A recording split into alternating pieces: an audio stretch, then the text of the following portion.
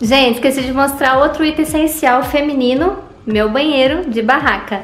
Eu nem desço da barraca, eu uso aqui o potinho de água, 3 litros. E o meu suporte aqui baratinho, de 2, 3 reais, ó. Bem prático, bem portátil. E ele limpa, é, daí já faz a higiene, fica limpinho, ele seca rápido, é super bom, recomendo. Guardo aqui no meu lixinho, ó, que é um potinho de sorvete. Eu deixo junto geralmente um, um papel higiênico aqui, guardo tudo na sacolinha, fecho, embalo e levo pra barraca. Então mais uma dica aí, itens essenciais, espero que vocês gostem.